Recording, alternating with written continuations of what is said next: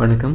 இப்போ என்ன பார்த்துட்ருக்கோம் அப்படின்னா ஆர்டிபிஎம்எஸ் டூல்ஸில் ஆரக்கிள் எஸ்கியூஎல் குவரிஸ் எல்லாம் பார்த்துட்ருக்கோம் ஸோ அதில் மொத்தம் வந்து இந்த இது வரைக்கும் வந்து நம்ம கவர் பண்ணிட்டோம். இது வந்து நாலாவது வீடியோ எஸ்கியூஎல்ல ஸோ ஓகே ஸோ இதில் first single row function multiple row ஃபங்க்ஷனுக்குரிய definition பார்த்துட்டு அதுக்குரிய ப்ராக்டிக்கல் எக்ஸாம்பிள்ஸை நம்ம பார்ப்போம். So okay what is single row function what is single row function okay ஃபங்க்ஷன்ஸை வந்து டூ டைப்ஸாக பிரிக்கலாம். ஸோ ஒன்று வந்து சிங்கிள் ரோ ஃபங்க்ஷன் இன்னொன்று வந்து மல்டிபிள் ரோ ஃபங்க்ஷன் ஓகேங்களா ஸோ ஓகே அதுக்கு முன்னாடி ஒரு செலக்ட் ஸ்டேட்மெண்ட் வந்து எக்ஸிக்யூட் பண்ணுறோம் அப்படின்னா அது டேட்டாபேஸில் query பண்ணிவிட்டு அது என்ன பண்ணுதுன்னா மல்டிபிள் ரோஸ் நமக்கு ரிட்டர்ன் பண்ணுது. ஓகேங்களா ஸோ ஃபார் எக்ஸாம்பிள் மல்டிபிள் காலம்ஸும் ரிட்டர்ன் பண்ணுது. நம்ம ஃபார் ஒரு காலம் தான் இருக்குன்னு எடுத்துக்குவோம். ஓகேங்களா? ஸோ இந்த ரோ ரிட்டர்ன் பண்ணுதுங்களா ஸோ இது வந்து ஏபிசி அப்படின்ற மாதிரி ரிட்டர்ன் பண்ணுது.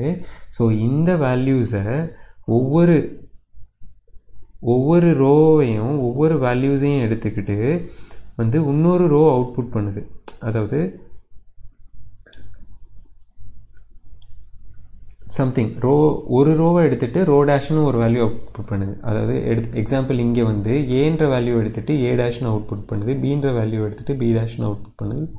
சிங்கிற வேல்யூ எடுத்துகிட்டு சி டேஷ்னுங்கிற அவுட்புட் பண்ணுது. ஸோ ஒவ்வொரு ரோக்கும் ஒவ்வொரு அவுட்புட் இருக்குது ஸோ அது வந்து சிங்கிள் ரோ ஃபங்க்ஷன் அப்படின்னு சொல்லுவாங்க. ஓகேங்களா? அதாவது இதோட இதுக்கு இந்த ஃபங்க்ஷனுக்குரிய இன்புட் வந்து ஒரே ஒரு ரோ தான்.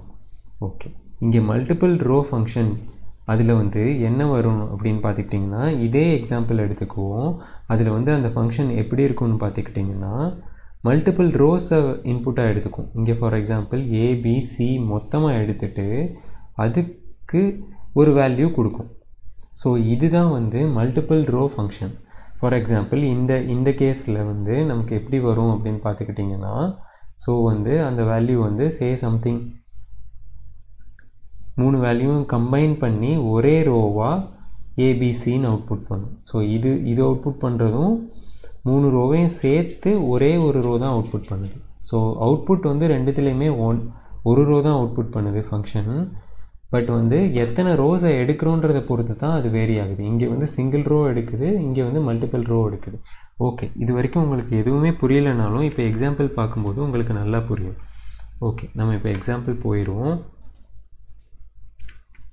ஓகே எக்ஸாம்பிளில் என்ன வச்சுருக்கோன்னு பார்த்துக்கிட்டிங்கன்னா அதே employee ID table employee table தான் ஃபர்ஸ்ட் நேம் அண்டு வந்து நம்ம வந்து இமெயில் ஐடி எடுத்துக்குவோம். ஸோ இமெயில் ஐடி எடுத்துக்கிட்டோம்னா என்ன நடக்குது?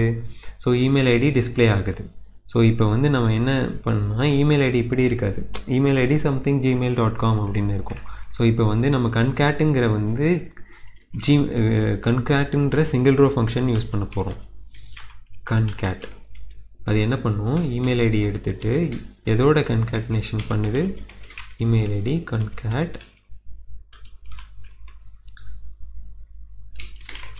Gmail dot com ஓகேங்களா so I think double quotes work ஆகாது. ஸோ ஓகே இது வந்து சிங்கிள் கோட்ஸில் தான் போடணும். ஓகே இப்போ வந்து ஜிமெயில் ஐடி ஒர்க் ஆகிடுச்சு இப்போ வந்து ஒவ்வொரு ரோக்கும் ஒவ்வொரு ரோக்கும் இந்த இது பார்த்துக்கிட்டிங்கன்னா டார்ஃபைல் ஒவ்வொரு ரோக்கும் அது வந்து எடுத்துட்டு அதுக்கு வந்து அட் ஜிமெயில் ஐடி அப்படிங்கிறது வந்து அப்பன் பண்ணி சொல்லுது. ஸோ இது வந்து ஸோ இதனால் வந்து கன்கேட்டுங்கிறது வந்து சிங்கிள் ரோ ஃபங்க்ஷன் ஓகேங்களா ஸோ இப்போ என்ன பண்ணலாம்? இப்போ ஓகே ஒன் மோர் திங் நம்ம ஏற்கனவே படித்ததை அப்ளை பண்ணலாம். இங்கே இப்போ வந்து இந்த காலத்தை வந்து ரீநேம் பண்ணணும் அப்படின்னா என்ன பண்ணணும்? டிஃபால்ட்டாக வந்து இதில் என்ன ஆப்ரேஷன் பண்ணுறாங்களோ அதை வந்து இங்கே வரும். ஸோ வந்து இமெயில் ஐடி அப்படின்னு குறிக்கலாம். ஓகேங்களா? ஸோ அதை வந்து நான் இமெயில் ஐடின்னு எழுதுறேன்.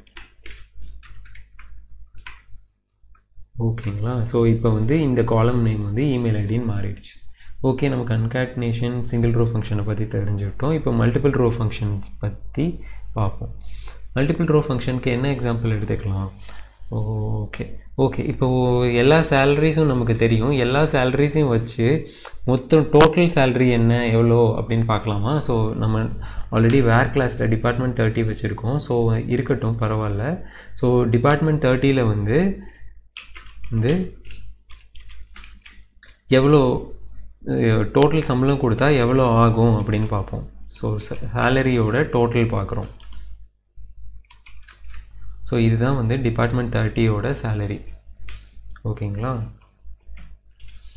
ஓகே. இப்போது இந்த இந்த வேர் கிளாஸ் இல்லைன்னா டோட்டல் ஹோல் எம்ப்ளாயி டேபிளில் இருக்க சேல்ரி கொடுக்கும். பார்த்தீங்களா இது வந்து ஜாஸ்தியாக இருக்குது ஸோ இது ஸோ சம்ங்கிறது வந்து மல்டிபிள் ரோஸை எடுத்துக்கிட்டு ஒவ்வொரு ரோவில் இருக்க சம் வேல்யூவும் எடுத்துக்கிட்டு நமக்கு ஒரே ஒரு அவுட்புட் கொடுக்குது. So sum is an example for multiple row function okay hope it is useful